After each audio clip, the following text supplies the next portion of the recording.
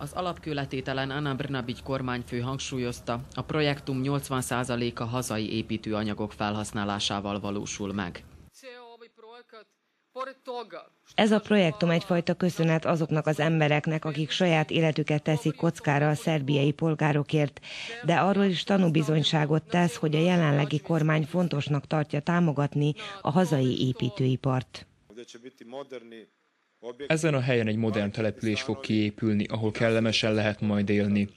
Az önkormányzat végzi el a közművesítést, az utcák, a parkolók és a zöld területek rendezését, valamint az óvoda meg az iskola felépítését, de tervben van egy sportközpont építése is. A tervek szerint 2021-ig befejeződik a lakótelep építése, amely egyébként egy országos szintű kezdeményezés része.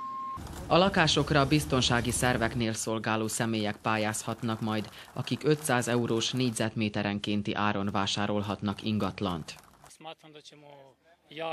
Úgy gondolom, hogy kollégáimmal együtt sok éves lakbérlés után végre megoldhatjuk a lakhatási gondjainkat, és otthon tudunk biztosítani a családunknak. Emellett mindezt jó lehetőségnek tartom a fiatal kollégák számára is, hiszen így meg lesz a motivációjuk, hogy itthon alapítsanak családot. A projekt első szakaszában 1578 lakást emelnek több városban, amelyre a kormány 64 millió dinárt fordított. Újvidék mellett hasonló lakóépületek épülnek Vrányeban, Nisben, Kragujevácon, Krajevon és Mitrovicán is.